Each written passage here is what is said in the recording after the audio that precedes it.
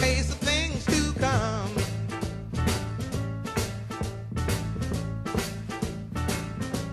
Yeah, your constitution, well, my friend, it's gonna have to bend.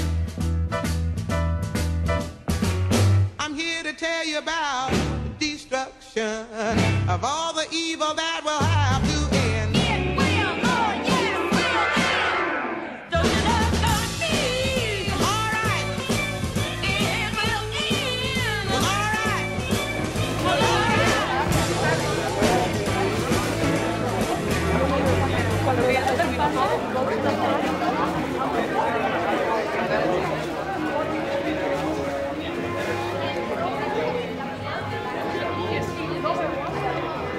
What do you hope for this Freedom Festival? Well, I hope that we can get the word out in Los Angeles County and city that you know there's a million different organizations and people that want to reach out and assist the returning citizens and, and assist students that are trying to better themselves. Um, schools, not prisons. Um, we need to build more schools and prisons. We need our government needs to invest in our students, in our people, um, so that we can contribute to society and make it this an environment for everyone.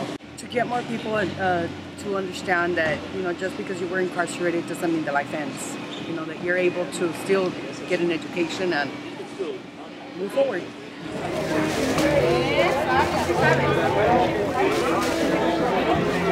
I uh, am a photographer and I am documenting art programs in California state prisons.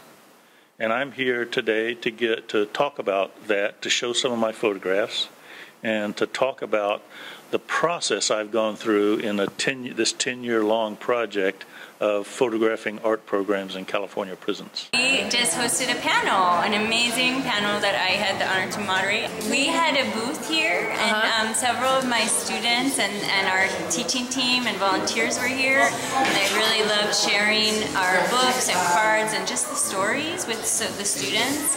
And, and the panel, I will say, this was like our biggest and audience we've had for panels, and it was really fun to have so many people passionate about these issues.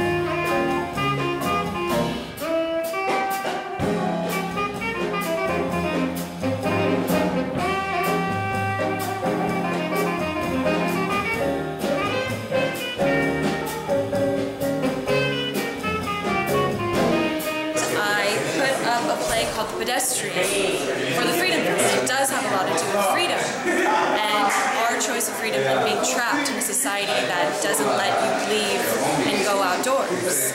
And I thought it was beautiful. Can't change your past, but you can change your future, as they say. I know it hurts.